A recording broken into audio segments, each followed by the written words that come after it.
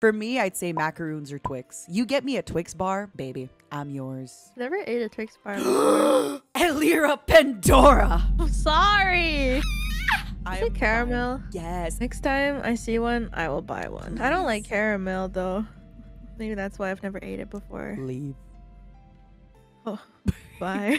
Have you had a bounty at least? oh, Coconut um, chocolate. so, If you say you don't like coconut, baby. Um, oh no, I love coconut.